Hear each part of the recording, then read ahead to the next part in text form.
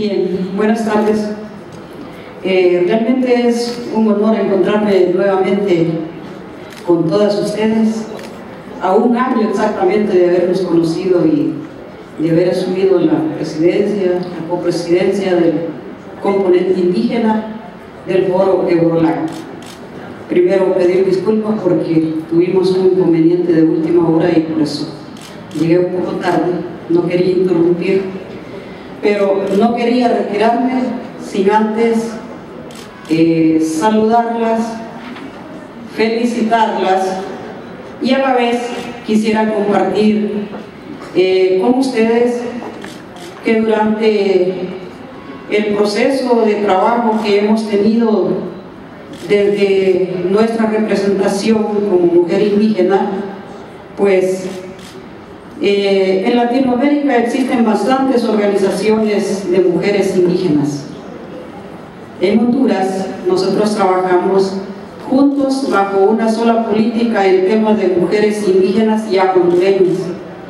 Es por eso que en Honduras nosotros tenemos la agenda política de mujeres indígenas y hondureñas que recoge siete ejes estratégicos que de acuerdo a lo que he venido observando, cómo se ha desarrollado el tema de Eurolac, eh, estamos hablando de los mismos temas. Eh, he escuchado hablar de la participación política, del empoderamiento económico, de migración, de salud, de educación. Y hay un tema que, que hoy lo escuché bastante y es el tema de migración.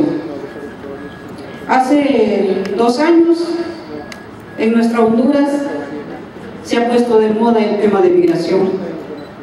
Pero para nosotros las mujeres indígenas que venimos trabajando desde el año 2012 era una prioridad para nosotros el tema de migración.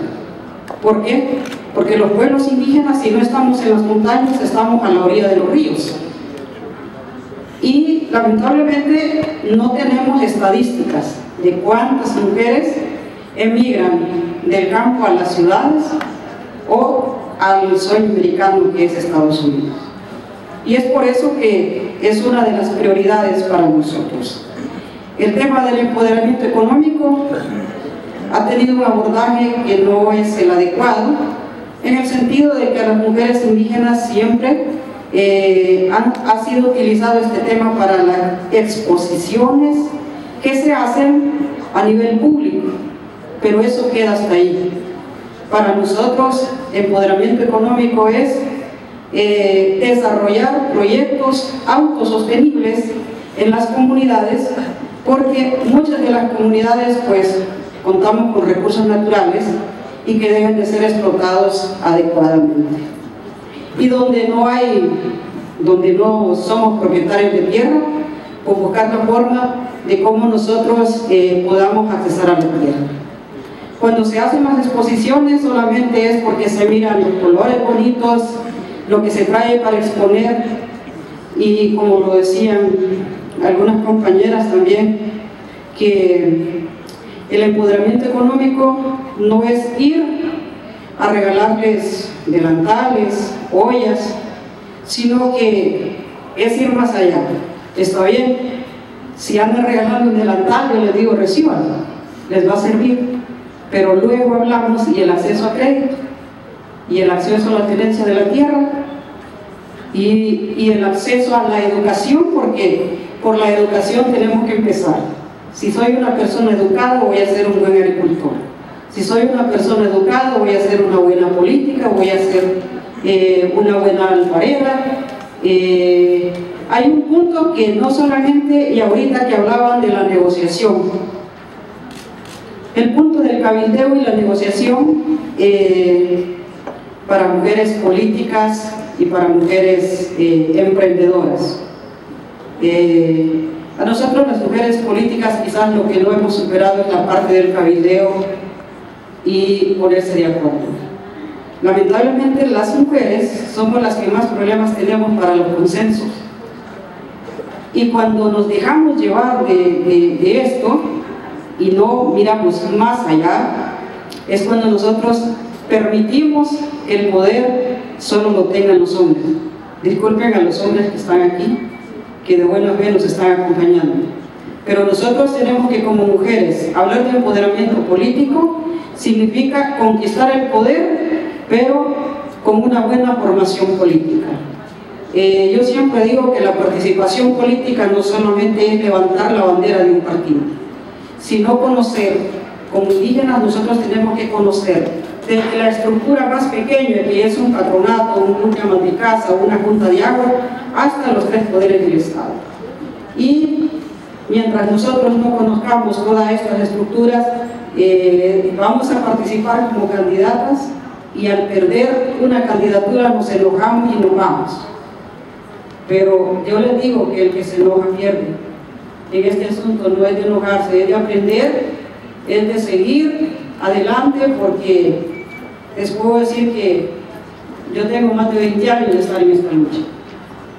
Y más de 20 años me ha permitido estar aquí eh, con estas valiosas mujeres valientes que han salido adelante, que tienen una lucha que contar, igual de la que les estoy contando.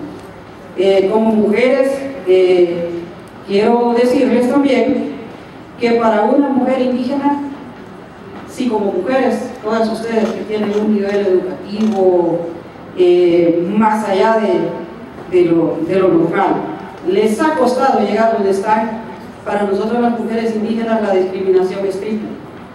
Por ser mujer, por no tener recursos y también por no tener eh, la educación eh, adecuada.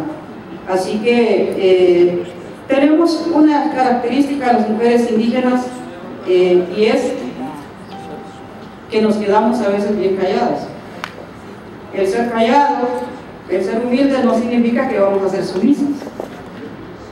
Las mujeres indígenas y los pueblos indígenas se caracterizan por ser callados, pero no significa que no tengamos inteligencia, no significa que no seamos capaces de poder ostentar un cargo en el poder legislativo, en el poder ejecutivo y también en las estructuras partidarias, así como también podemos eh, eh, desempeñar cargos en el exterior. Eh, como mujer, quiero decirles también que es otra de las características que, si bien pueden verlo callado, humilde, pero hasta el más mínimo gesto lo observamos. Y decía, o hay un dicho en mi pueblo que dice, basta una mirada. Entonces, yo quiero invitarles a que sigamos adelante a que no bajemos la guardia. Esto es un reto. Eh, yo digo siempre que la lucha apenas empieza. Y a mí me gusta eh, abrirle camino a todas las mujeres. Si yo tengo más de 20 años de venir en esto, hay una cantidad de mujeres que me han acompañado para llegar o escalar las escalas y ir a subir. Pero quiero decirles que como mujeres tenemos que predicar con el ejemplo y traer a todas las mujeres que vienen para que suban las escalas que nosotros ya subimos. Si hoy nosotros nos honramos en presidir estas presidencias, ojalá que el día de mañana otras mujeres que no han tenido esa oportunidad sean las que estén aquí porque son nuestras sucesoras y vendrán mejor preparadas que nosotros. ¿Por qué? Porque vienen en el camino aprendiendo y nosotros en el camino hemos venido cayéndolos y levantando, cayéndolos y levantando, pero aquí estamos. Y eh, pues aprovecho para agradecerles finamente por, porque durante los he conocido, pues eh, esos halagos, eh, esa transmisión de conocimiento que hacemos de diferentes culturas, ese apoyo moral que le dan a uno eh, todo eso cuenta para que nosotros podamos estar donde estamos. De manera que, eh, señora Presidenta eh, de Latinoamérica, Presidenta Europea, también nosotros mantenemos muy buenas relaciones con la Unión Europea y estamos trabajando muy de la mano en nuestro país nosotros también nos estamos preparando para que el día menos esperado podamos tener el foro Eurolac en Honduras. Eh, en esta oportunidad también quiero dejar constancia con todos ustedes que nosotros no trabajamos solos. Y en mi caso, eh, mi trabajo lo hago en equipo. Aquí está la doctora Miriam Suazo, que ella es la delegada para Centroamérica. Eh, doctora, si se pone de pie, le regalan un aplauso. Como yo siempre les digo, eh, nos tenemos que rodear de todos los talentos que nosotros nos hacen falta. Podré tener un liderazgo, pero hace falta mucho para poder fortalecer y todos somos complementos. Eh, de manera que nosotros tenemos que buscar todos estos talentos que tenemos. Yo sé que en esta sala están todos los talentos que necesitamos para sacar adelante y tener un mundo lleno de oportunidades.